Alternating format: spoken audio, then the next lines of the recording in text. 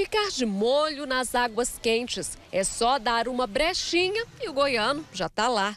E por receber também visitantes de todo o país e até do exterior, a região de Caldas Novas é referência em turismo. 5 milhões de pessoas por ano.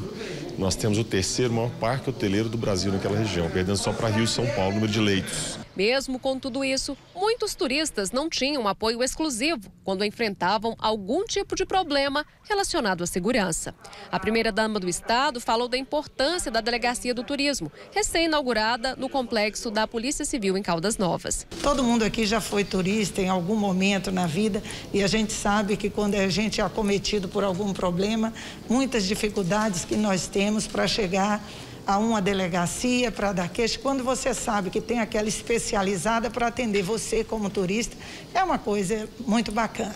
Nós estamos trabalhando para que não ocorra o crime. Né? E isso a gente tem feito nesses dois anos de governo do governador Ronaldo Caiado.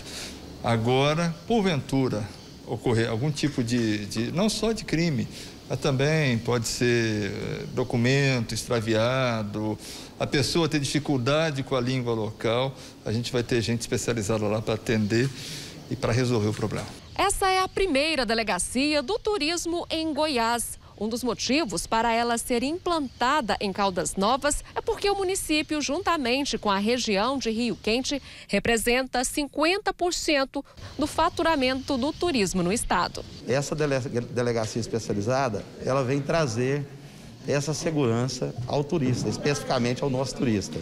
É o que vem é, de forma é, muito positiva, né, a, a, levar o nome de Caldas Novas, o nome de, do Rio Quente, da região das Águas Quentes, como cidades seguras para serem frequentadas pelas famílias por todo o Brasil.